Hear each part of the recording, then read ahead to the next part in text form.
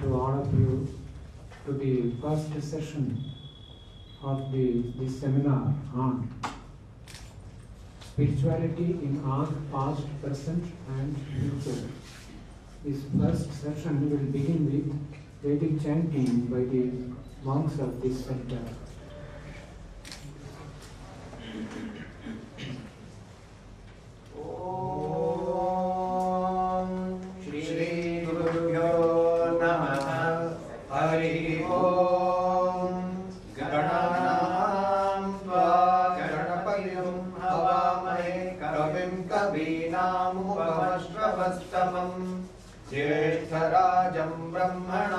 ब्रह्मणस्पत आन शृण्वन्नोतिभिः सीदसादनम् महागणपतये नमः।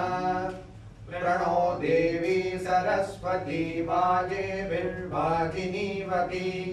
धीनामविद्रयवतु नो देवो बृहतः पर्वताला सरस्वती यजता यज्ञम्। वाग्देव्यै नमः ॐ सहनाववतु सहनौ भुनक्तु, सह वीर्यं करवावहै। तेजस्विनावधीतमस्तु मा विद्विषावहै। ॐ शान्ति शान्ति, शान्तिः। हरिः ॐ शन्नो मित्रः शं वरुणः शन्नो भवत्पर्यमा शन्न इन्द्रो बृहस्पतिः। शन्नो विष्णुरुक्रमः। नमो ब्रह्मणे। नमस्ते वायो। त्वमेव प्रत्यक्षं ब्रह्मासि। त्वमेव प्रत्यक्षं ब्रह्म वदिष्यामि। ऋतं वदिष्यामि। सत्यं वदिष्यामि, तन्मामवतु तद्वक्तारमवतु अवतु माम्, अवतु वक्तारम्। ॐ शान्ति शान्ति, शान्तिः। हरिः ॐ भद्रं कर्णेभिः शृणुयाम देवा। भद्रं पश्येमाक्षभिर्यजत्राः स्थिरैरङ्गैः स्तुष्टुवागं सस्तनूभिः यदायुः।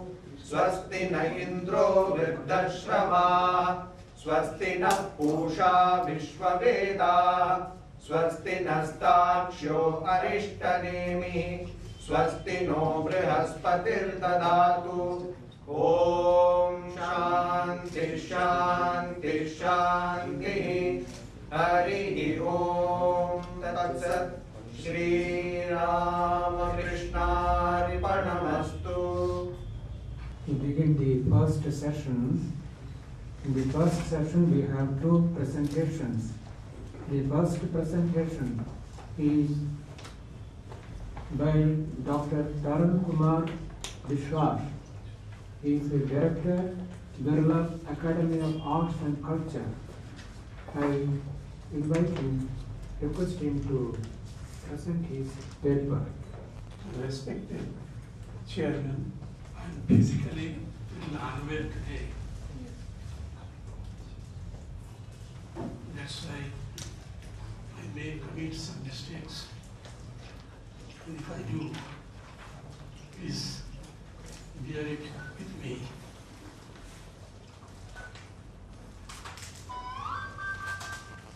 I'm, I'm going to deliver a lecture on art and spiritualism with particular reference to ancient and medieval art. And uh,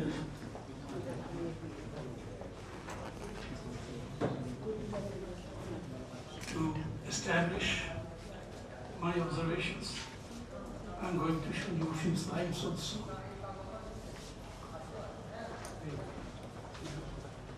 Now, if you just survey the panorama of Indian art in its ancient and medieval times, you will find that Indian art simultaneously works on two levels the material or worldly and the spiritual or metaphysical. Because the above purpose is the search and realization of the absolute truth, Satchidananda. When you survey Indian art, particularly in early period, you will find. With open eyes the Indian artist sees the world around him. And with closed eyes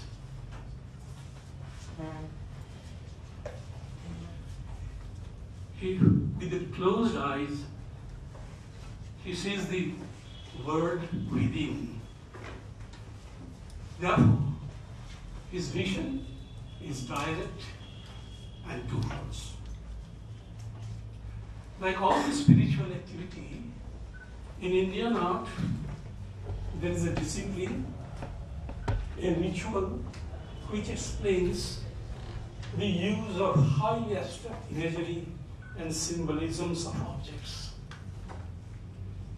The quest for the absolute is predominant in Indian culture. The motives and ideals of traditions of Indian art is the essence of sacredness in India and the supreme traditional culture of it, which were traditionally spiritual. If you analyze the art of the Gupta period, pre-Gupta period, that means before 4th century AD, of Mathura or of Vengi, which is in Andhra Pradesh, one finds our artist tries to express the love of life and the joy of existence. If you visit the sites of Amaravati or Nagarjunakonda or Mathura, the Kankali Tila and Bhuteshwar, you'll find the relieved railings and gateways of contemporary stupas lay there, scenes after scenes, teeming with tall and teeming with the tall and slender figures of human beings. They are seen everywhere on the body of the pillars and on the crossbars and in the coping stone.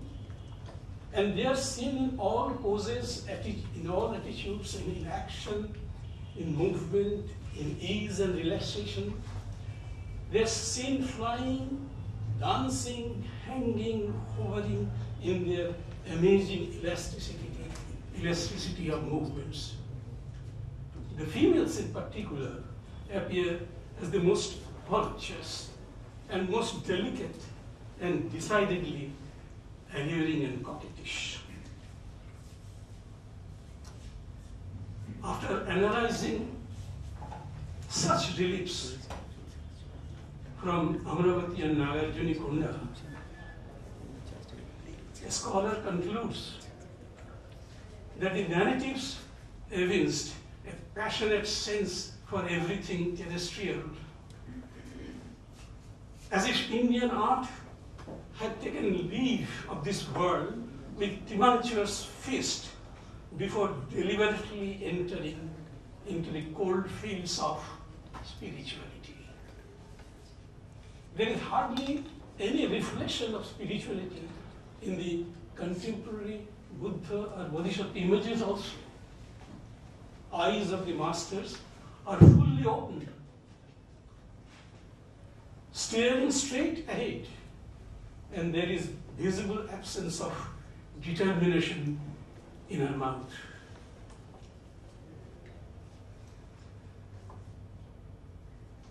And as we enter the Gupta period,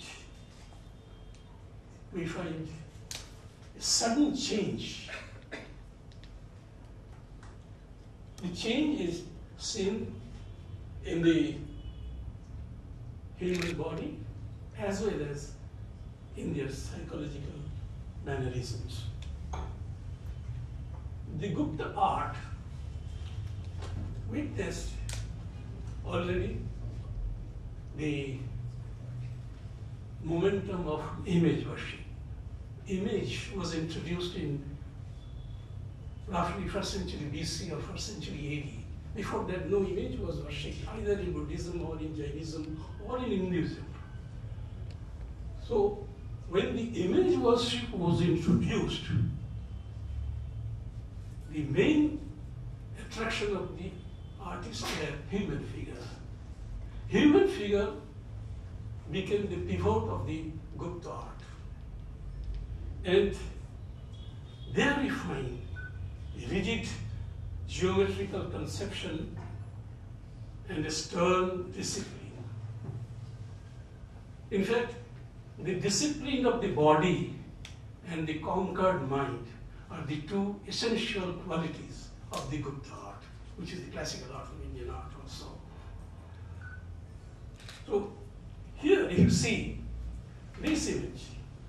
In fact, according to Stella Kramrisch, this Bodhisattva image, which is now in Indian Museum, Calcutta, which was found in Bodh Gaya, and it is inscribed in the date of 64 of a king, Maharaja Trikamala. We do not know who is Trikamala, or we do not know the exact era of the image. But when you study the sculpture, the qualities of this image, we can definitely say the era definitely referred to Gupta era, which started in 324 AD. Now, here, you just look that it is endowed with a concentrated energy that has its roots in the within. The eyes with drooping lids and the glance directing to the tip of the nose appear to be working inward, signifying the mind absorbed in deep meditation. With this transformation, the image attains the true spiritual import. The Bodhisattva from Bodh Gaya, that's why to Kramrisch is the first image in India, which its form signifies what it means implies. Bodhisattva, one whose essence is enlightenment. So here we find a rare combination of stolid dignity of the Kushana idiom with the restrained grace and inner spiritualism of the Gupta art. But I think among the untold millions of sculptures, if you want to select one or two sculptures, this is the one. This is a sculpture of Buddha in Dharmachakra Pravartana Mudra. It was made at a place called Sarnath near Banaras. It is not dated, but stylistically it is dated to the late 5th century AD. It is made in Chunar sandstone. This is by far the best stone sculptures in India, in my opinion. It has a very smooth and luminous body, seemingly weightless. He appears to breathe the enjoyment of supreme bliss arising out of inner serenity of mind. The image is illumined by deeper spiritual introspection, and the image registered a spiritual elevation which is but seldom attained in Indian art. Now, just look to this sculpture. Here, the artist has very cleverly compromised the aesthetic qualities on the one hand and the spiritual elements on the other. The entire body was made following the, you know, similes which appeared to them very beautiful. So, though in Gupta period, in, uh, human figure became the pivot, but nature was not divorced totally.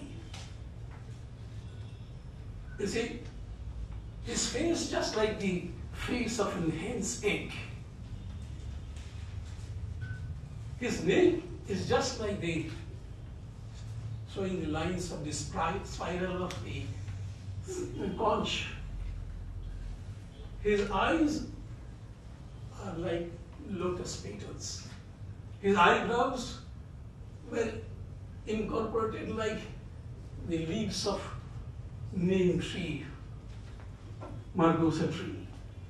And his eyes are half closed and they're directed to the tip of nose, which is unfortunately broken. It's lonely